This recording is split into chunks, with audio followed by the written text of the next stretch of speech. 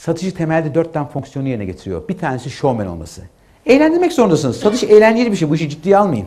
Ben hep gülerim, eğlenirim, kahve içerim, sohbet ederim. Bu güzel. Hiç fark yok bugün. Satışta yapmış olduğunuz tüm görüşmeler temelde normal bir sohbetten hiç ileri gitmez. Tek farkı var. Karşınızdaki etkilemeye çalışıyorsunuz. Karşınıza bir iyilik yapmak istiyorsunuz. Karşınızdakinin fikrini değiştirmeye çalışıyorsunuz. Karşınızdaki insanı ikna etmeye çalışıyorsunuz. Tabii bir amacı var. Amaçsız değil. Ama bugün baktığınız zaman tamamen eğlenceli bir şey. İkinci nokta enerjik olmanız lazım. Bakın ben bu sabah 7'de spor yapıp geldim buraya. Her gün spor yapıyorum ben. Haftada her gün spor yapıyorum. Onun için böyle genç gözüküyorum. Öyle kendi kendime kim o 47 yaşında nasıl böyle duruyorsun? Çok basit bir şey. Yaşlanmam tek sebebi spor yapmam. Kendimi durduruyorum. Ölücülerimi dışarı atıyorum. E, enerjimi dışarı atıyorum. O yüzden. Güvenilir olmanız gerekiyor. Danışman demektir. İnsan niye danışmana gider? Güvenlikler için. Şu demek danışman. Danışman ne yapar? Sizi ön yargısızca dinler ve tamamen sizin iyiliğiniz için size belli belli sonuçlar, hedefler verir. Danışman odur. Danışman kendi menfaati için değil, karşı, kendi menfaati için değil, tamamen karşıdaki insanın yerine koyup onun menfaati için çabalamaktır. Ve son psikologtur. Psikolog şu diyorum, insanların karakterleri farklıdır. Bakın içinizde maviler, yeşiller, kırmızılar, sıralar var. Bu ayrı bir eğitim konusu. Ama değişik insanlar var. Bazınız iç, enerjisini içinde tutuyor, bazınız enerjisini dışa atıyor benim gibi. Bazısı yine enerjik ama içinde dışarı veremiyor. Bazı insanlar çok sistematik, bazı insanlar hedef odaklı, bazı insanlar yaratıcı, bazı insanlar da barışçıl. Bunların her birine farklı yaklaşmanız lazım. Eğer siz mavi bir insana cıvıtırsanız kapı dış eder sizi. Tamam Bugün yeşil dediğimiz huzurlu bir insana, kırmızı dediğimiz agresif bastırırsanız kaçar gider. Herkesin motivasyonu farklıdır. O yüzden insanların karakterini bilmek zorundasınız. Yoksa onlara doğru yaklaşamazsınız. Hayatta başarısızlık diye bir şey yoktur. Ben hiç inanmam başarısızlığa. Başarısızlık yoktur. Sonuç vardır. Her yere yazıyor bunu. Başarısız yoktur, sonuç var. Çok basit bir şey bu. Kaleye 10 tane şut atarsanız bir tanesi gol girer. Demek ki iki gol atabilmem için benim ne yapmam lazım? Kaleye 20 tane şut atmam lazım. Bu ne demektir? Demek ki 18 kere kaleye atamam demektir. Daha çok başarıyor muyum, başaramıyor muyum?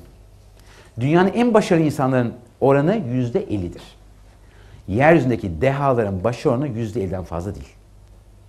Yani bir insanın başarılı olması için en aşağı 5-10 kat kadar da başarısı olması lazım. Başarısızlık size başarı getirir. Yani bugün 10 tane müşteri ziyareti yaptığınız zaman bunun bir tanesi başarıysa 9 tanesi başarısızdır. Bugün Fenerbahçe, ki ben Galatasaraylıyım, şampiyon oluyorsa bu sene her maçı kazandığı için değil ki. En çok kazandığı içindir. Bugün en çok başarılı satıcılar en çok görüşme yaparlar en çok kişiyi tekrar tekrar ararlar. Ama en başarılı en çok en çok müşteriye kattıkları için değil. Daha çok rakiplerine göre yaptığı için oluyorlar. Aynı sporda olduğu gibi, hayatta olduğu gibi. Ne kadar çok dinlerseniz o kadar başarılı oluyorsunuz. Başarısızlığa bakmayacaksınız. Tamamen başarıya bakın. Ne kadar başarılı olduğunuza bakın. Kesinlikle ne kadar başarılı olduğunuza bakmayın. Çünkü her insan başarısız oluyor. Bugün Amerika'nın Merkez Bankası Başkanı istifa dedi ki hatalarımın üçte biri hatalıydı. Bütün dünyanın ekonomisini yöneten adam diyor ki yaptığım kararların üçte biri fatal hata diyor. Hata değil, fatal hata yani öldürücü hata. Bugün hepimiz hata yapıyoruz. Ben her gün satışı bilmeme rağmen binlerce hata yapıyorum. Yapıyorum. Yaptığım için çok keyif alıyorum. Yapmasam ileri gidemem çünkü. Başarı, satışta başarı bir hedef olamaz. Süreklidir bakın. Bunu anlamanız lazım. Ben başarılıyım diyemezsiniz. Öyle bir şey yok yani. Bu bir süreç yani. Her gün bununla ilgili bir şey yapmanız lazım. Her gün kitap okumanız lazım. Her gün satış görüşmesinde kendi kendinizi değerlendirmeniz lazım. Kayıt tutmanız lazım. Hedef koymanız lazım. Bu süreç yani. Bitmeyen bir süreç. Onun için böyle bir nokta değil yani. Ben buraya ulaştım diyemezsiniz. Yani bunun noktası yok. Yukarı doğru çıkıyorsunuz her gün. Tamamen burada yapmanız gereken şey bunu bir şekilde kendinizi geliştirmek için fırsat olarak görün bakın. Satışın güzelliği budur. Her gün kendimizde bir şeyler yaparken kendinizi geliştiriyorsunuz. Hiç meslekte bu şans yok. Hiç meslekte yok. Her meslek insanlar bir şeyler yapıyorlar. Belki daha verimli çalışıyorlar ama satışta şu var. Kendinizi geliştirme fırsatı var. Bu çok önemli bir şey. Kendinizi geliştirme fırsatı sadece satış mesleğinde var. Evet, kendine inanmanın ve güvenme gücü. Beş tane güç var. Çoğu insan diyor ki ya ben bir türlü karar veremiyorum, istediğimi elde edemiyorum. Niye? Bu beş tane güç var. Bir tanesi kendi inanma bir şey. Kendinize yüz yüz inanın. Koşulsuz inanın kendinize. Tamam. Ne de güçlüseniz ona odaklanın. Güçsüz taraflarınızda zaman kaybetmeyin. Siz eğer iyi basketbol oynuyorsanız futbola başlamayın. Eğer siz çok iyi klarnet çalışıyorsanız piyanoya başlamayın. Neredeyseniz oraya odaklanın. Başarısız olduğunuz noktalarda vakit kaybetmeyin. Bilinçaltı. Bilinçaltıyla ilgili alın kitap okuyun. Bilinçaltı 7 çarpı 24 çalışan, bugün sizin yaptığınızı, vücudunuzun tüm fonksiyonlarını yerine getiren, sizin çoğu şeyi yapmanızı sağlayan, farkına farkına varmadığınız bir güçtür. Yani zihninizin arkasında sizin hareketleriniz, tutumlarınız, tavırlarınızı belirleyen kontrol dışıdır. Onun için bilinçaltınızı ne kadar olmuş yerle etkilerseniz o kadar çok yaptığınız şeyleri, alışkanlıkları faydalı şekilde kullanabilirsiniz. Sonuçta insan faydalı alışkanlıklar alabilir, zararlı alışkanlıklar alabilir. Alışkanlık esasında bir şeyi arka arkaya çok sık tekrar ettiğiniz zaman bu alışkanlığınız oluyor. Alışkanlığınız değiştirmesi sürece sizin tavrınız değişmiyor, tutumunuz değişmiyor, kaderiniz değişmiyor.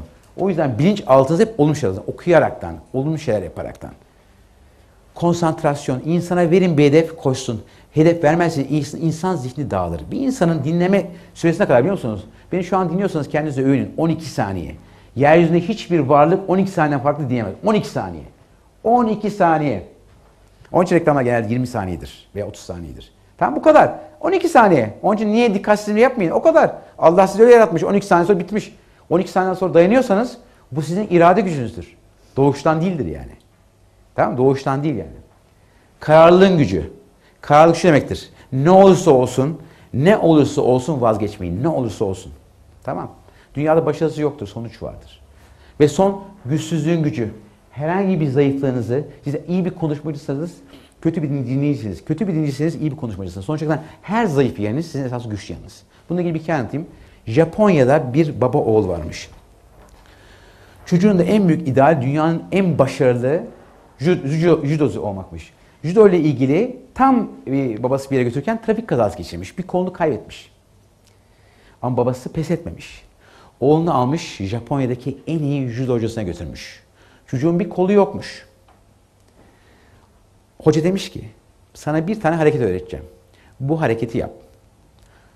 Kol, tek kol olmasına rağmen judo hocası tek bir tane hareket öğretmiş. Ve çocuk bunu bir ay, iki ay, üç ay, bir sene boyunca sadece bu hareket çalışmış. Başka bir şey yapmamış. Hatta çocuk koşmuş orada demiş ki hocam demiş ben dedim başka bir şey öğretsene demiş. Yok demiş sen sadece bunu, bunu, sadece bunu çalış demiş. Neyse çocuk bunu çalışmış. Daha sonra müsabakaya çağırmış.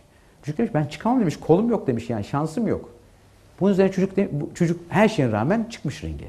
Ve sonuç olarak ilk maçını kazanmış. Sonra yine ikinci maçını da kazanmış. Tek konu olmasına rağmen ve tek hareketi biliyor. Sonra gelmiş final maçı. Dünyanın yenilmez adına karşı. Demiş ki ben hocam demiş çıkmayacağım demiş yani. Ben dedim rezil olmak istemiyorum. Kesinlikle kaybedeceğim. Yok yok demiş sen çık ve elinden geleni en iyisini yap. Sonra bu öğrenci çıkmış. Ve maçı kazanmış. Hocasına koşmuş. Hocam demiş nasıl olur demiş. Bir kolum var demiş tek bir hareket ettiniz. Nasıl dünyanın en iyisini yendi demiş. Çok basit bir kural var demiş.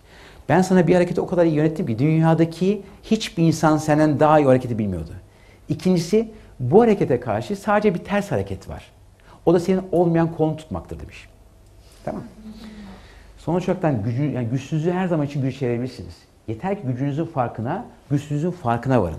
Buna farkına varmadan veya kendinizi tanımadan kendinize hedef koyarsanız mutsuz olursunuz. Duygularınızı anlamadan başkalarının duygularını yönetemezsiniz. Her şey kendinize başa bakın. Kendi zihniniz, kendi zihniniz, kendi duygularınızı tanımak, kendi güçsüz yanlarınız, kendi güçlü yanlarınız. Hep budur. Sıkıcı an bu. Kusura bakmıyorum teknik yok. Benim bütün Türkiye iş adamları dinliyor. Zannediyor ki onlara formül vereceğim. Versem niye ona vereyim? Kendim para kazanırım. Bunun formülü yok. Formül zihni doğru kullanma. Başka hiçbir şey, formül yok dünyada. İnsanın vücudunu alırsak, her şeyini alırsak tek bir şey kalıyor. İlişki kurma kapasitesi. İnsanlarla rahat ilişki kurabiliyor musunuz? Her türlü insanla çok rahat ilişki kurabiliyor musunuz? Kendinize bunu sorun. İnsanlar sizi kısa zamanda seviyor mu? Yoksa kısa zamanda sizi antipatik mi oluyor? Kısa zamanda sempatik mi oluyor, antipatik mi oluyor? Kısa zamanda güven uyandırıyor musunuz yoksa insanlar size güvenmiyor mu? Güven probleminiz mi var? İnsanlar sizi konusunda ne düşünüyor? Bu çok önemli bir şey. İlişki kapasitenize bakın. Nasıl ilişki kuruyorsunuz? İlişki kurma kapasitesi iki tür olur. Bir, kendinize güvenmekle ilgilidir. İki, karşılık vermekle alakalıdır. İnsanlara ne kadar yardım ederseniz karşılıksız o kadar çok arkadaşınız olur. Ne kadar çok kendinize güvenirsiniz o kadar insanları kendinize çekersiniz. Çünkü kendine güvenmek çok etkileyici bir şeydir. En büyük güç bana göre gülümsemektir. Diyorum ki gençlere hiçbir şey beceremiyorsan tamam mı? Hiçbir şeyi. Aklına hiçbir şey gelmiyorsa tek yapman gereken gülümsemek. Dünyada daha iyi makyaj yok. Daha iyi imaj yok. Türkiye'de insanlar gülümsemiyor. Öğretmiyorlar bunu çünkü. Biz somurtmasını öğretiyoruz. Somurtan bir sürü surat. Gülün ya. Kalktığınız anda gülün. Bir aynaya bakın. Seviyor musunuz gülmeyen? Gülün. Gülebildiğiniz kadar gülün. Kahkahalı gülün. Gülün. Tutmayın kendinizi. Çünkü gülmemek, tut, duygu tutmak da içinizde. Gülmek istiyorsun böyle yani. Hani vardı ya erkekler ağlamaz gibi. Gülün yani. Bana soruyorlar, hani bir ağlar mısın? Tabii ağlarım. Ama yani öyle ağlamak için ağlamam yani. Olabilir duygularımla ama ağlamam tutmuyorum kendimi. Satış temelde bir ikna sanatı. İkna. İkna etmek ne demektir? İkna etmek şu demektir. Karşımızdaki insanın bakış açısını değiştirmektir. Karşımızdaki insana ısrar etmek değildir. Karşımızdaki insanı daha çok motive etmektir. Daha çok motive etmek, daha çok motive etmek, daha çok motive etmek ki arzu yansın. O kadar istesin ki gelip sizden alsın. Hatta para verdiği için mutlu olsun. Budur. İkna etmek. Soru sorma sanatı. Bir kural var. Yüzde seksen dinleyin, yüzde yirmi konuşun. Bakın bu kuralı hiç unutmayın. Yüzde seksen dinleyin, yüzde yirmi konuşun. Konuşmayın, soru sorun. İsrar edilse yine konuşmayın. Daha iyi sorular sorun. İlla da karşısındaki ısrar etse konuşun. Buna da bilgelik. Satıştaki bilgelik diyoruz buna. Konuşmayın, soru sorun. Soru sormak önemli bir şey. Karşımdaki insana ilk önce açık sorular sorun. Nasıl bu işi kurdunuz? Daha önce kimlerle çalışıyordunuz? Boş zamanınızda neler yaparsınız gibi, ne, niçin, nasıl, kim, nerede gibi sorular var. Satışın 16 kolu kitabında bütün detayı var. Kitabında bunların hep türlü detayı var. En ince detayına kadar. Ama açık soruları öğrenin. Kapalı soruları öğrenin. ihtiyaç soruları öğrenin. Soru. Satışın temeli soruya dayanır. Soru sormanın için de bilmeniz gerekir. Bilmezseniz, bilmezseniz soru soramazsınız. Akıllı insan akıllı soru sorur. Bilen insan karşıdaki insanın istediği cevabı alacak soruları sorar. Ama bilmezseniz soru soramazsınız. Çoğu insanın soru sormamasının sebebi bilmemesidir. Eğer bu videomu beğendiyseniz diğer videolarımı takip etmek için abone olmayı unutmayınız.